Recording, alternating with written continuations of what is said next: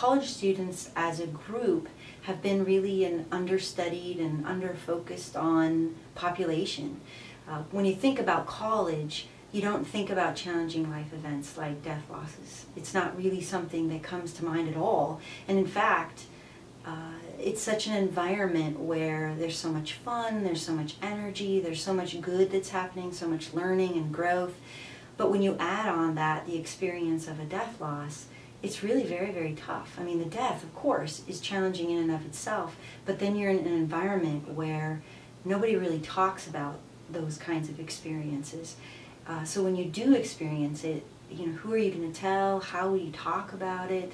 Or if you come to college with a death loss, how do you even start those kinds of conversations when you hear people talking about their parents? How do you bring up that, that you know, one of your parents has died? Uh, it's really tough. And what we found was, you know, in working with, with college students and actually doing the research in this area, I knew the students didn't want, or in, in many ways didn't need to read a book that I would write.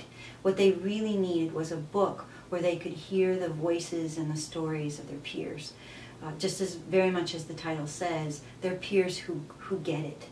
Uh, because it's really difficult to find those individuals. And there are some campuses now who have chapters of, of AMF, which is a national network, uh, to support grieving college students, but there's many campuses who don't.